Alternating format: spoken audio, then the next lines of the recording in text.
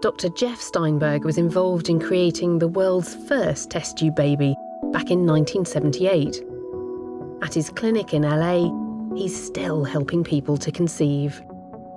So are these all pictures of test tube babies? They sure are.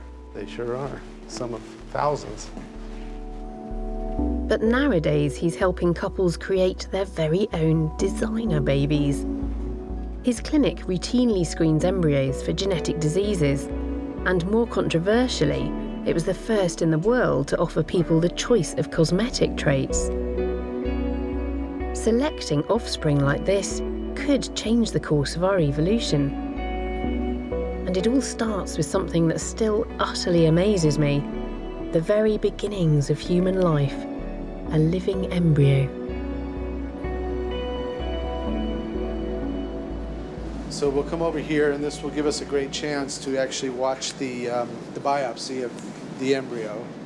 So this is when you take the cell to look at the genetics? Yeah. So to do that, we've got to separate the one cell from the other eight cells inside the embryo.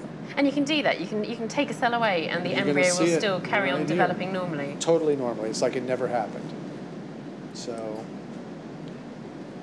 you can see the multiple cells on the embryo. So at the moment it's a ball of water, about eight cells? Uh-huh. An eight cell embryo. We've applied the suction pipette to it so that it'll hold it in place for us. And now we're going to pierce the zona pellucida to the outer shell yeah. that protects the embryos. And we're actually going to prepare to go in and remove one of these cells so that we can analyze it genetically. Just a moment here. Boom. And there, it's out. it's out. And you can see the remainder of the embryos not fazed a bit by that. So then you're able to look at the genes contained within exactly that cell, right. yep. which are identical to all the other yep. ones. Yep. And analyze it and look at the right. look at the genes that you've got there and exactly screen right. it. That's exactly right. By screening a cell from each embryo, Dr. Steinberg can work out which embryos are free from genetic diseases. But he can also screen the embryo for other traits.